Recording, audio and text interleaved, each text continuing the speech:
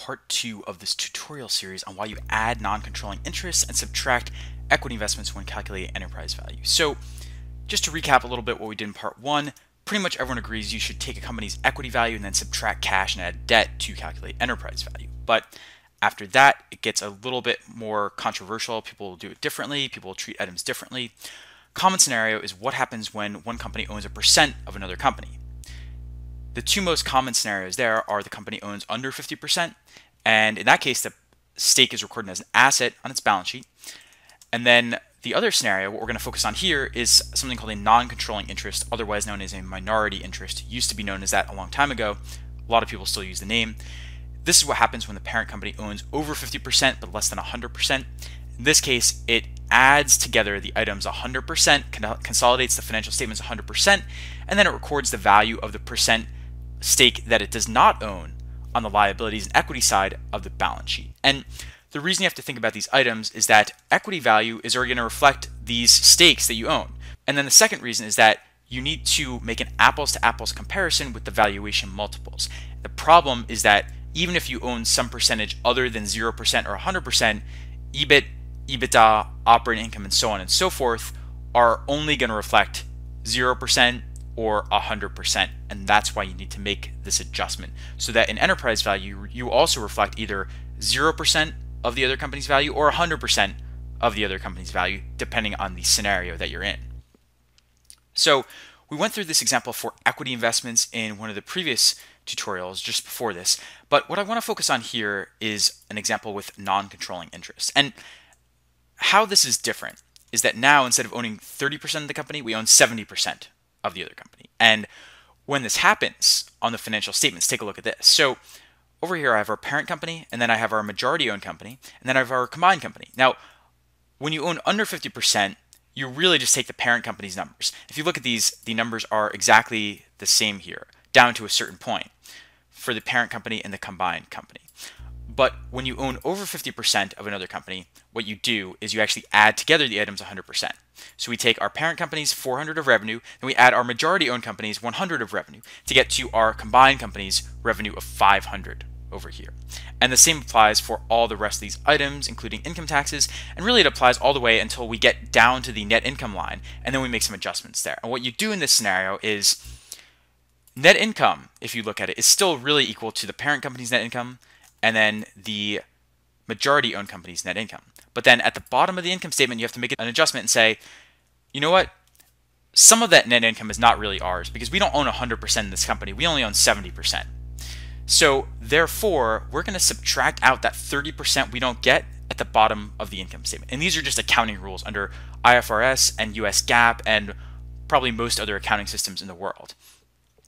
So we take the 1 minus the 70% ownership over here, we multiply it by the majority owned company's net income, we subtract this 2, and we get our net income attributable to parent, is what it's usually labeled as in the financial statements, of 23 down here.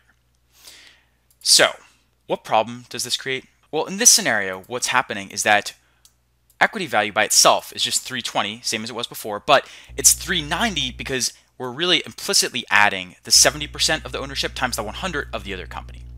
So enterprise value here, as it is right now, reflects 70% of the value of this other company that we own the 70% stake in. What about EBIT and EBITDA, though? Take a look at this. EBITDA. Where is this coming from? Well, operating income here, this reflects 100% of the parent company's operating income and 100% of the majority owned company's operating income. Same for D&A, it reflects 100% of both of those. So we have a scenario now where EBITDA and EBIT reflect 100%, but enterprise value only reflects 70%. And we get a mismatch of the percentages once again. So at the end of the income statement, as I just showed you before, yes, you do subtract out the 30% the parent company does not own. Problem is, above this, you still have those numbers. And per the rules of accounting, you are not supposed to subtract those out above this. I don't have a good explanation. That's just how it's done. One of the quirks of accounting that you have to get around in these types of analyses. So to fix this, once again, you could say, okay, well, I know what to do. We could just take our EBITDA and our EBIT, and you know what? Let's just subtract that 30% of the other company that we don't own. So we have our EBITDA number over here, and let's take our, I'm going to use a subtraction sign and then say 1 minus this 70% to keep it flexible. And then, okay, so we have the 30% that we don't own. That is the 1 minus F106 there. And then let's go over to this majority owned company. And let's take their operating income plus their D&A, so their EBITDA. So look at this. We have our 30% we don't own times the other company's EBITDA over here. So you could do that. And now you get to EBITDA of 74 and the EV to EBITDA multiple also falls as well. So you could attempt to do something like that. But the problem once again is that in real life, this just doesn't work because the parent company doesn't disclose enough information. Now over here, the way I set this up is I showed you the parent company's income statement and the majority owned company's income statement. In real life, you are only going to get the consolidated income statement. So you're only going to get this you're not going to get the majority owned company's underlying income statement. Companies just don't disclose that in their filings, or if they do, they certainly don't do it for all companies that are like this. They like to disclose as little information as possible in most cases. So that's why, as I say here, it's not viable to subtract out 30% of the majority owned company's EBIT, EBITDA, and so on, because you just don't have this underlying information for real companies all you have is this. You could attempt to work backwards. You know the other company's net income, but how do you go from net income to operating income and D&A? Very difficult to guess what those numbers are just based on the other company's net income. So it's just not viable to do this. So the better solution is to add the percent that the parent company does not own times the value of that other company in the enterprise value calculation. And I'm just going to go and fix our EBITDA formula over there. So here's what you do in this case you have another line item called non-controlling interest. And this will be shown on the company's balance sheet, by the way. So it's pretty easy. You just go in the balance sheet and get it there. But in this example, I'm going to show you how you might actually calculate it if you didn't have that. And you can just take the value of the other company times 1 minus how much they own in the other company. So this will come out to 30%.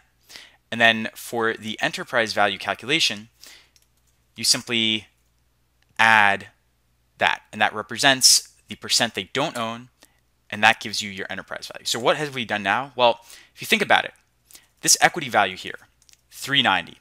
This is really 320 plus the 70% times the 100. That gets us to the 390. Then to get us to 100%, we have to add in the 30% that we don't own times the 100, and that gets us to our enterprise value of 570 here. These multiples change accordingly because now what is going on is we have 100% of both companies' operating income and D&A, or just operating income for EBIT. And in enterprise value, we also have 100%. So take a look at the comparison here. With the first example, we left out this value entirely. So the enterprise value is 470. Why? Because the value of the other company is 100. We don't have anything of the other company here, so that's why this is 470. In this example, though, we have 100% of the value of the other company, and that's why enterprise value here is 570 instead. So that's how you do this here. And that's really the most elegant solution because again, in real life, this whole business with trying to adjust the majority owned company's EBITDA, EBIT, etc. just doesn't work. You will not be able to find this information in 99% of companies' financial statements. So that's why you do it like this, and that is why you add non-controlling interests and subtract equity investments when calculating enterprise value. So just a quick recap and summary here. The key concept is that you have to make an apples to apples comparison all the time.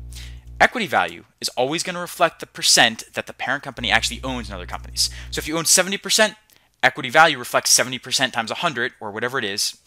If you own 30% and the other company is worth 200, equity value is going to reflect that 30% times the 200 or 60. And that's fine. There's nothing wrong with that. That's just the way it works. Investors buy and sell shares based on this with this knowledge. The problem is with the accounting rules the company cannot actually show 70% or 30% on their entire income statement on all the items. Instead, what they do is they take an all or nothing approach. You have to either show 100% of the other company's numbers if you own over 50%, or you have to show 0% if you own under 50%, and then make an adjustment at the bottom of the income statement. So we have these adjustments here that we saw for net income attributable to non-controlling interests. We saw how in the other example we had equity investment earnings or equity investment net income, whatever you want to call it. So we adjust at the bottom of the income statement, but that's all we do. And that creates problems for these valuation multiples because with enterprise value, if we calculate it as is, it's going to show the 70% or 30%, but the EBIT or EBITDA are only going to show us the 0% or the 100%. It's not really possible to adjust EBIT or EBITDA in most cases because we don't have the, other, the information to do so, but it is possible to adjust, adjust enterprise value by subtracting equity investments and adding non-controlling interest. And so that is the approach you take. And that's why you add non-controlling interest and subtract equity investments in this calculation, assuming that you're using enterprise value for purposes of calculating valuation multiples, which you pretty much always are.